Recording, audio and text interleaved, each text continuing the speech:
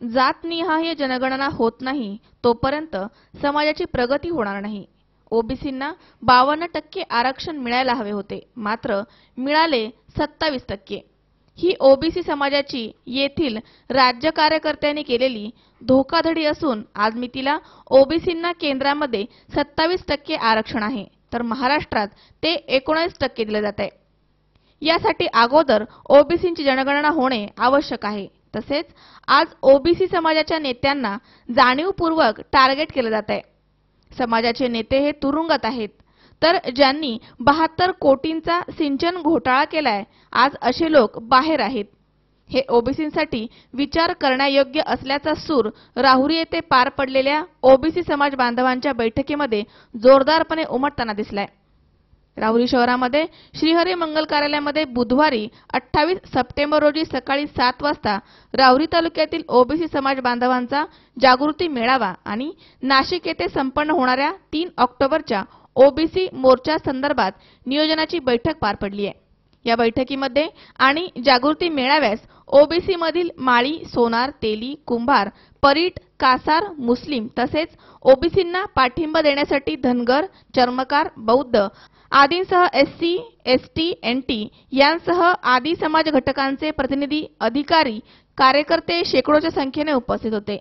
यावेळी ओबीसी समाजाच्या कार्यकर्त्यांना जागृत होण्याच्या सूचना देत मंडल आयोगाची पूर्ण अंमलबजावणी व्हावी तसेच ओबीसींमध्ये होत असलेली आणि झालेली घुसखोरी रोखण्यासाठी ओबीसी बांधवांनी जागृत होऊन ओबीसीमध्ये होत असलेले अतिक्रमण रोखण्यासाठी समाज बांधवांनी एकजूट दाखवून येणारा धोका ओळखावा आज रोजी सत्तर ते ऐंशी टक्के मराठा समाजाकडे ओबीसी दाखले आहेत. हे आले कुठून? केवळ सत्तेच्या हव्यासापोटी.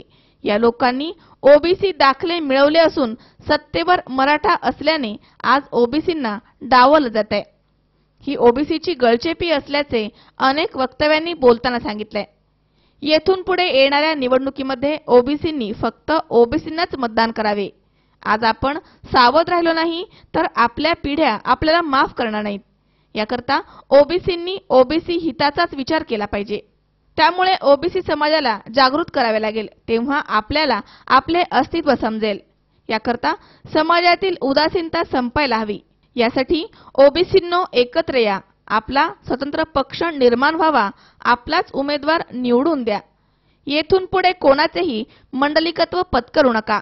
आणि येणाऱ्या तीन ऑक्टोबरच्या नाशिक मेळाव्यामध्ये भुजबळ साहेबांच्या समर्थनात सर्वांनी एकजुटीने मोर्चामध्ये सहभाग नोंदवा आणि ओबीसींची एकजूट दाखवून देत नवे पर्व ओबीसी सर्व असा नारा यावेळी देण्यात आलाय. या बैठकीस ओबीसी एससी एसटी एनटीचे कार्यकर्ते पदाधिकारी बहुसंख्येने उपस्थित होते.